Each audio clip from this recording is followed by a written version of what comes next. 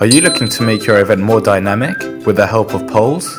With the Evenium ConnexMe application, it's easy. The questions appear on the big screen and on the smartphones or tablets of the participants. With just one click, they can answer the questions.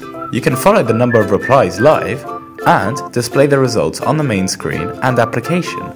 Did you know creating polls only takes a minute?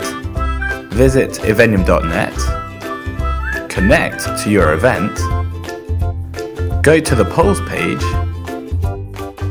prepare your questions, select the type of answer needed,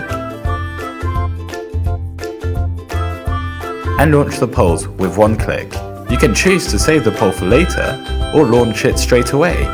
In a couple of minutes, you have made your meetings and seminars more dynamic. So, which poll will you launch first?